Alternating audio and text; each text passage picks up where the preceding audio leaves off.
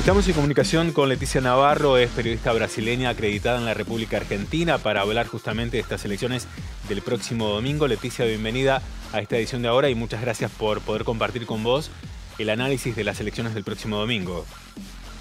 Gracias, buenas noches, un gusto estar acá, gracias por la oportunidad. Bueno, lo decíamos, polarizado con mucho nivel de violencia, algo que de alguna manera también genera un precedente en el Brasil porque no hubo situaciones de tanta tensión como la que estamos viendo en los últimos tiempos. Sí, tienes razón, de verdad es la primera vez que vemos una manifestación eh, de parte del electorado de una manera tan polarizada y además tan agresiva, de parte de los dos lados, ¿viste? que acabó reflejando en el último debate de ayer que mostró la violencia entre los candidatos. Mm. ¿Cómo vivió Brasil este nivel de violencia del debate de ayer?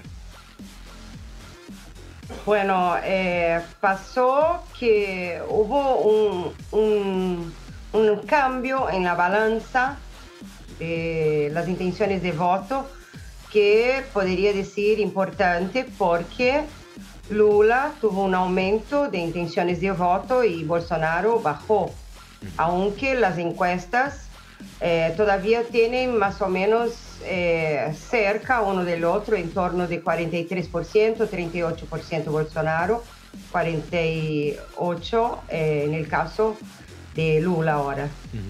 ¿Todo indicaría que Brasil se encamina al balotaje a partir del domingo, teniendo en cuenta estas intencionalidades de voto que van analizando obviamente los distintos sectores?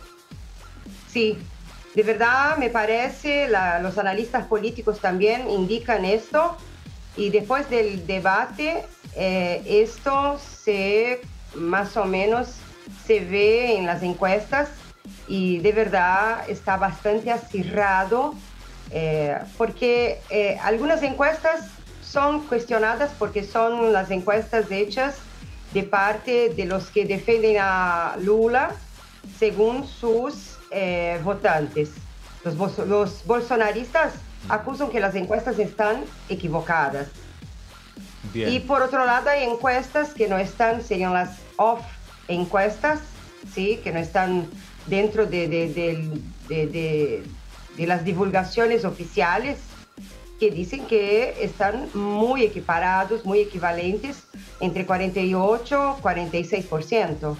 En la historia de los balotajes en Brasil, ¿cómo ha sido esa historia? Porque, bueno, por ejemplo, en, la República Argentina, cuando han existido balotajes, eh, bueno, los presidentes en mandato tienen generalmente eh, la dificultad de poder llegar a, esa, al triunfo en esas elecciones. ¿Cómo ha sido la historia de los balotajes en Brasil? Bien, eh, cuando los candidatos se encuentran en un balotaje, usualmente los otros candidatos que no alcanzaron ¿sí? para estar en, en, la, en, la, elección, en la segunda, el segundo turno que llamamos, las personas que votarían en estos candidatos empiezan a hacer su migración hacia los candidatos que más se, acerquen de los candidatos que nos eligieron, que no están concurriendo en el balotaje.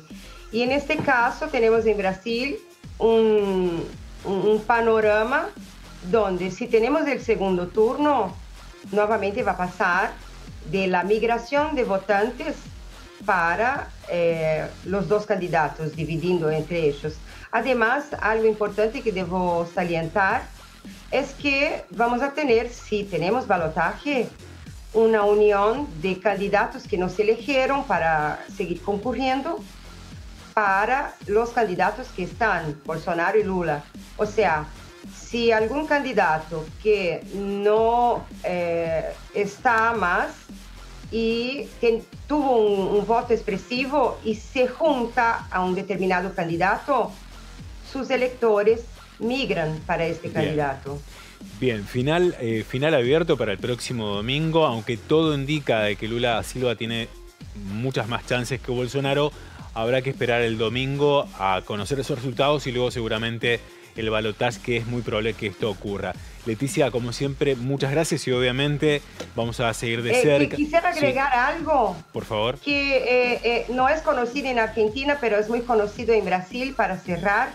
Sí. Es que en Minas Gerais, que es el estado considerado como el estado eje, donde se eh, ve las votaciones siendo como si, si ganas las intenciones de voto en Minas Gerais, ganas las elecciones en Brasil. Sí. Y Lula está a frente en Minas Gerais. Como varios años ocurrió, todos los presidentes que fueron elegidos en Brasil, en Minas Gerais, estaban a frente de las intenciones de voto. Es el caso testigo de Minas Gerais. Bueno, vamos a seguir de cerca, obviamente, el próximo domingo. Minas Leti- Gerais. Leticia, muchas gracias por esta comunicación Gracias y a ustedes, unas buena- buenas noches. buenas elecciones el domingo. Gracias, muy amable, Hasta luego. gracias.